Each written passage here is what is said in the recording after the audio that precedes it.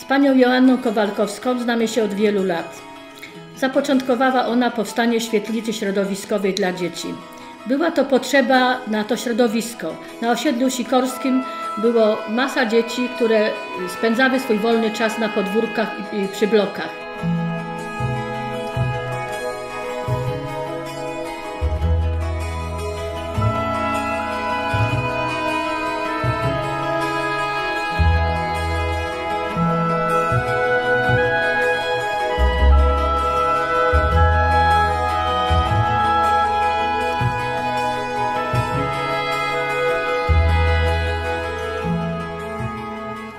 Dzieci tam z chęcią przychodziły, bo znajdowały tam dużo, dużo ciepła.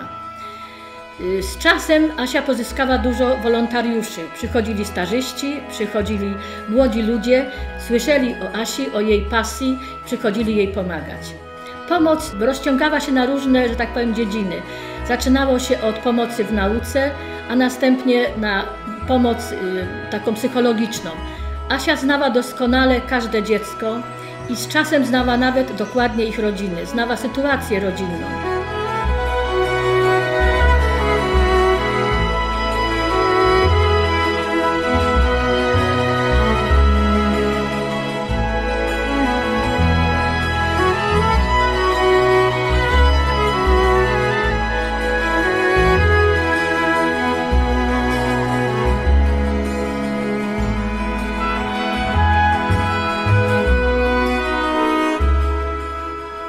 Pani Asia y, ma olbrzymią charyzmę. Ona y, chciała za wszelką cenę poprawić sytuację finansową y, swojej, swojej organizacji.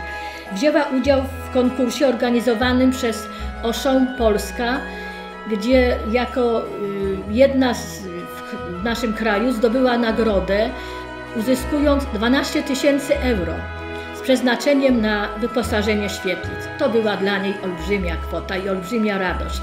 Za to mogła nakupić całą masę wyposażenia.